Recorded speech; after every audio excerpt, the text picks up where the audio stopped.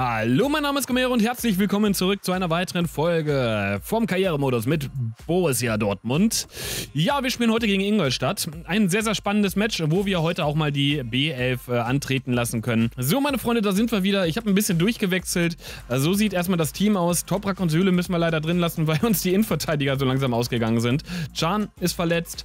Ähm, ähm, ähm, ähm, Bartra ist immer noch verletzt und äh, die anderen sind äh, nicht äh, hundertprozentig fit. Deswegen müssen wir Toprak und Süle noch drin lassen. Ich hoffe mal, dass wir gegen Ingolstadt nicht allzu viel zu tun haben in der Innenverteidigung. Ansonsten Schmelzer und Paslak äh, bilden die weitere Viererkette. Merino, Rode und Götze werden spielen. Mohr, Pulisic und Ramos werden auch spielen. Also wirklich eine B11 von uns gegen Ingolstadt. Aber das haben sich die anderen mal verdient. Es gab zwei sehr, sehr harte Spiele hintereinander innerhalb von wenigen Tagen. Und ich denke mal, das haben sie sich verdient, dass die äh, erstmal ein bisschen Pause machen können. Und äh, wir gehen einfach mal ins Spiel gegen Ingolstadt. Also bis gleich. Hallo und herzlich willkommen im Signal Iduna Park zum Bundesliga-Match Borussia Dortmund gegen Ingolstadt. Ja, das wird der dritte gegen den 17. Ingolstadt muss sich heute beweisen. Sie wollen natürlich den Klassenerhalt packen und das wird ja ziemlich, ziemlich schwer. Wir haben wenig Punkte gesammelt in dieser Saison und jetzt geht es auch noch gegen Borussia Dortmund. Auch wenn Borussia Dortmund heute mit der B11 antritt, wird es ein schweres, schweres Spiel. Hier sehen wir die Konstellation. Ja, es ist schwer für Ingolstadt, das irgendwie zu erreichen. Wir sind auch ziemlich, ziemlich nah am Saisonende und dann ach, auch noch gegen Borussia Dortmund. Das wird schwer irgendwie den Klassenheld zu schaffen. Hier sehen wir Borussia Dortmund mit Schmelzer, Toprak, Süle, Paslak, Weidenfeller im Tor, Marino, Rode, Götze, Pulisic, Mohr und Ramos im Sturm. Ja, ich bin auf jeden Fall sehr, sehr gespannt, wie Ingolstadt hier gegen uns antreten wird. Könnte eine interessante Partie sein. Hier ist die Startelf von Ingolstadt mit Nieland, mit Suttner, Tisserand, Bregerie, Kitziora, Roger, Christiansen, Cohen, Kittel, Sonny Kittel und Lessano und Hartmann in Offensive. Ja, auf jeden Fall ein spannendes Match, denke ich mal. Vor allem, wie, ich bin sehr interessiert, wie die BL von, von Dortmund hier spielen wird. Klar, es ist noch ein Götze dabei, es ist äh, noch ein Süle dabei, ein Toprak. Es ist keine komplette B11, aber größtenteils, größtenteils Spieler, die relativ selten gespielt haben. Hier stimmen sie sich nochmal ein und wir gehen einfach los. Anstoß hier im Spiel unter Regenverhältnissen. Ne? So ein bisschen Regen ist auf jeden Fall hier in Dortmund. Ich hoffe nicht, dass es das Spielen irgendwie erschwert. Oh, stark von Mohr. Jetzt auf Ramos. Schade. Geziora ist sehr gut da. Passt hervorragend auf und klärt erstmal zum Einwurf. Naja, das waren so ein bisschen die technischen Unzulänglichkeiten. Ramos. Und Mohr mit dem Schuss. Nieland ist zur Stelle. Der Ball wurde nochmal gefährlich. Ich glaube nicht, dass es heute sehr viele Offensivaktionen von... Oh, stark! Von Ingolstadt geben wird. Pulisic vielleicht mit dem ersten Schuss und dem ersten Treffer. Das ist es. Christian Pulisic mit dem 1 0 nach 6 Minuten. Starkes Ding von Christian Pulisic. Hat sich hervorragend freigelaufen. Hat sich hervorragend freigelaufen und war frei vom Tor. Da hat Ingolstadt gepennt in der Verteidigung. Ramos hat ihn gut gesehen. Ja, und er ist ja ein schneller Mann. Macht das Ding hervorragend. 1 0 für Dortmund. Stark gespielt von Christian, Christian Pulisic. Roger jetzt.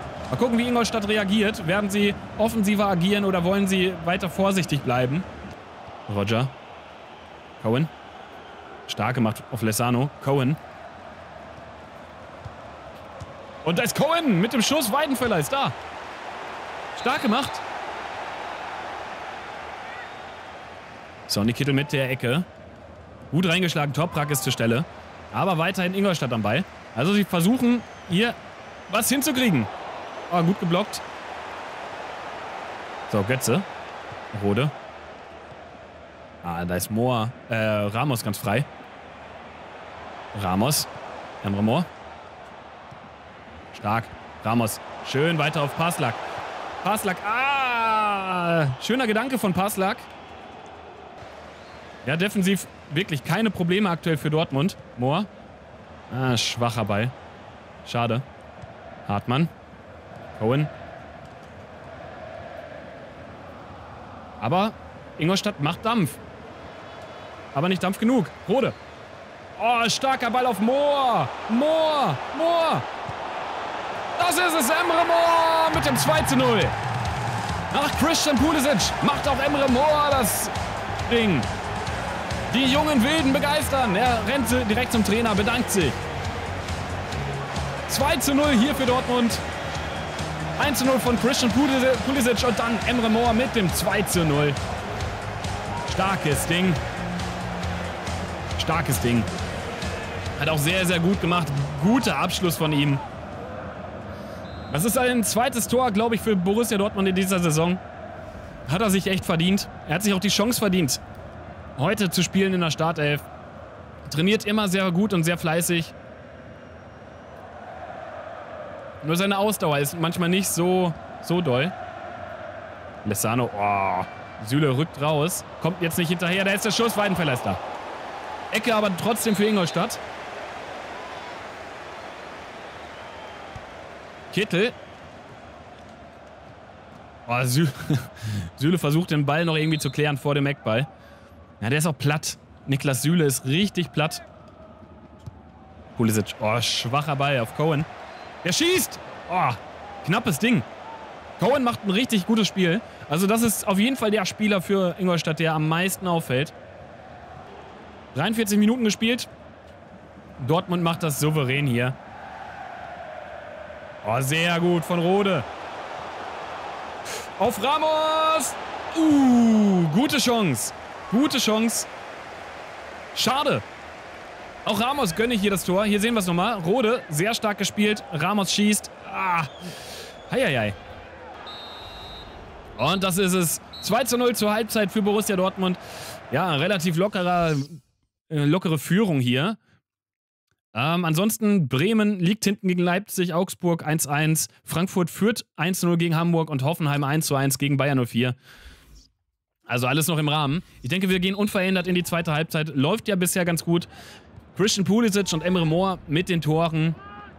Zur 2-0-Führung hier für Dortmund. Pulisic macht ein gutes Spiel. Emre Moore. Rode, wieder auf Emre Moore. Götze. Uh, guter Schuss von Mario Götze. Stark gespielt. Jetzt auf Moore. Moore. Oh, ist der schnell. Moore mit dem Ding. Was war das denn? Was war das denn für ein Ding? Emre Moore mit dem 3 zu 0. Mein Gott, hat sich der Typ stark durchgesetzt. Wie stark war das denn? Hier sehen wir es nochmal. Er läuft und läuft und läuft. Hier fällt er nicht. Normal, andere Leute hätten sich da fallen gelassen für einen Elfmeter. Er setzt sich einfach weiter durch und schiebt den Ball locker ein an Nilland vorbei zum 3 zu 0. Das war ein bockstarker Spielzug hier von Emre Moore. Super Dribbling. Und eben das 3 zu 0.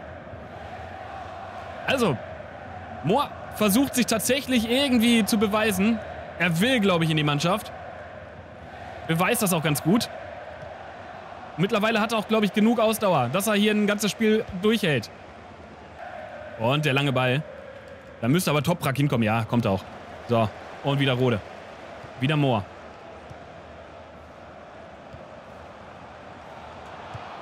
Oh, schade von Ramos. Schade, schade. Oh, wieder stark. Ramos. Oh, das war ärgerlich. Passlack. Oh, mein Gott. Oh, wenn der auch noch das Ding gemacht hätte. Das wäre ja der Wahnsinn gewesen. Strippenzieher ist auf jeden Fall Rode mit einer Passquote von 90%, Laufdistanz 2 Kilometer. Ja, und Pässe 20 von 22. Ich denke mal, wir wechseln auch jetzt. Rode ist leider platt, auch wenn er der Strippenzieher ist, er ist leider platt. Äh, ich denke, dass wir Shahin dann auf jeden Fall eine Chance geben. Schürle darf jetzt, glaube ich, auch für Christian Pulisic rein. Ansonsten bin ich, glaube ich, eigentlich zufrieden, muss ich sagen. Eventuell Carrasco noch für Ramos. Oder Kagawa für Götze, denke ich. Dann sind wir auch durch mit den Auswechslungen. Haben alle eine sehr, sehr gute Leistung gebracht. Muss ich zugeben. Pascal Groß kommt jetzt auch für Cohen. Hartmann. Weiter Ball. Da dürfte eigentlich Passlack hinkommen. Ja, kommt auch. Aber verliert aber den Ball an Lex. Roger. Oh, Hartmann, sehr stark durchgesetzt. Da ist der Schuss. Weidenfeller ist zur Stelle. Auch er ein gutes Spiel. Und hier nochmal die... Weidenfeller, Wahnsinn. Ja, ich denke, das wird es auch gewesen sein. Ja, das war es auch. Nach zwei Minuten, auch wenn er drei Minuten Nachspielzeit angezeigt hat, nach zwei Minuten pfeift er ab, der Schiedsrichter. Dortmund gewinnt hier 3 zu 0. Ich denke, absolut verdient. Ingolstadt hatte keine große Chance hier gegen Borussia Dortmund. Ein wichtiges Spiel für uns. Wir haben mal wieder klar gemacht, dass wir eine gute Mannschaft haben, auch in der Hinterhand. Auch die B11, auch die ja, Reservisten sind sehr, sehr stark. Ich denke mal, das war eine hervorragende Partie.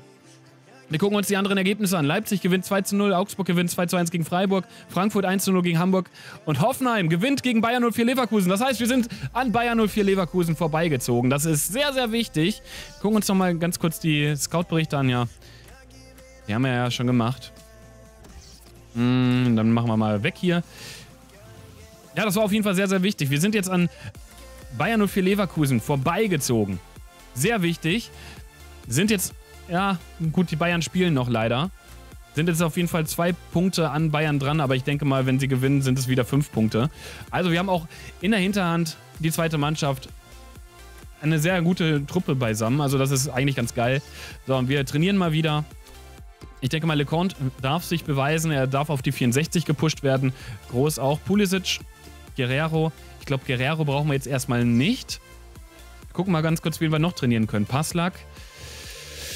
Äh, Süle. Ja, Süle können wir eigentlich auch wieder trainieren. Der ist kurz vor der 83. Mm, Merino brauchen wir nicht. Weigel können wir auch wieder trainieren. Aber ich habe mich, glaube ich, schon relativ entschieden, Süle zu machen. Damit er auf die 83 geht. Gucken wir mal, was empfohlen wird. Ja gut, der ist ja eigentlich gar nicht mal so schlecht grundsätzlich, ne? Also abfangen, faire Zweikämpfe, ja gut, dann machen wir, stärken wir ihn in der Defensive. Mal gucken, ob er sich da pusht. So, jetzt bin ich gespannt. Wie entwickeln sich unsere Leute? Ja, Pulisic ein bisschen, groß ein bisschen, Emre Moore äh, eher nicht so.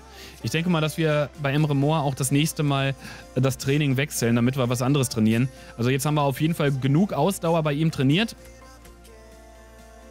Spieler ist auskuriert, okay. Wer ist auskuriert? Emre Can kann wieder spielen. Sehr schön. Emre Can kann wieder spielen und wir haben ein Angebot von Spanien erhalten. Spanien ist natürlich eine interessante Nationalmannschaft, aber ich denke mal, wir warten, wenn dann, auf Deutschland oder gar nichts. So, wir können auf jeden Fall wieder trainieren. Ah ne, können wir nicht. Wir können jetzt gleich wieder trainieren. Ich denke mal, dass wir tatsächlich ähm, bei Emre Moore mal was anderes machen. Durchsetzen hat er jetzt genug gemacht. Ähm, mal gucken, wo die anderen Sachen sind. Abschluss sehe ich eigentlich gar nicht mal so schlecht an.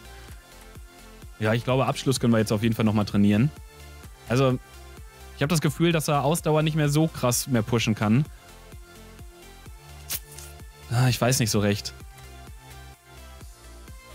Ich weiß echt nicht so recht, ne? Also Beweglichkeit kann er eh nicht mehr wirklich viel machen. Dribbling auch nicht mehr so doll. Ach komm, wir machen jetzt mal Schussgenauigkeit, damit er sich ein bisschen da pusht. Und dann gucken wir uns die anderen auch noch an. Die anderen trainieren auch mal ein bisschen weiter. LeConte hat sich jetzt auf die 64 gepusht. Also der entwickelt sich hervorragend. Muss man ja sagen. Und ist schon wieder auf der Hälfte von 64. Also der könnte für, die, für das nächste Jahr tatsächlich eine Option sein. Pulisic, ja, einigermaßen. Ja, es muss besser werden. Es muss alles besser werden, Freunde. So, das nächste Spiel wird gegen Schalke 04 sein. Das Derby gegen Schalke. Eine sehr interessante Partie, definitiv. Wir spielen auf Schalke. Ähm, wir gucken uns mal ganz kurz noch die Nachrichten an. Pressekonferenz, ja, die machen wir natürlich mit. Und wir werden natürlich Schalke verunsichern. Ganz klare Sache. Und Spieler ist auskuriert. Usman Dembele kann wieder trainieren. Sehr schön. Das gefällt mir doch. Monatsbericht Jugendmannschaft, die schauen wir uns natürlich auch an. Ähm, 80 bis 90 hat der Potenzial krass. 83 bis 93 ist noch krasser. 78 bis 84, was hat der? Äh, 57 gesamt. Tobias Klein, 84 bis 90, 80 bis 86. Das ist schon echt nicht schlecht, ne, was wir in der Hinterhand haben in der Jugendmannschaft. Also da können wir echt noch große, große Stars entwickeln. Das ist schon mega heftig. Ähm, dann hauen wir das mal wieder raus. Nachricht von zwei äh, von Spielern. Ein Vorschlagtrainer, okay, was die kommende Partie angeht. Ich bin in letzter Zeit sehr gut in Form und fühle mich wohl. Ich hoffe daher, dass ich im nächsten Spiel nicht auf der Bank sitzen werde, okay. Ähm, die bevorstehende Partie ist ja wirklich wichtig, blablabla, dass es besser wäre, wenn ich anstelle von Pulisic. Was, der will auf den linken Flügel oder was spielen? Nee, du wirst schon im äh, Sturm spielen, mein Freund. Ähm, ja, gegen, klar, gegen Schalke werden wir auf jeden Fall mit der Bestbesetzung antreten. Das ist auf jeden Fall das Ziel. Juli, ich bin auf jeden Fall mit dieser Folge fertig. In der nächsten Partie geht es ans Derby gegen Schalke 04. Da bin ich sehr gespannt, ob wir da auch wieder rocken werden. Und ja, ich hoffe, diese Folge hat euch gefallen. Lasst eine Bewertung da, lasst ein Abo da, wenn ihr weitere Folgen nicht verpassen wollt. Und wir sehen uns in der nächsten Folge. Macht es gut und ciao.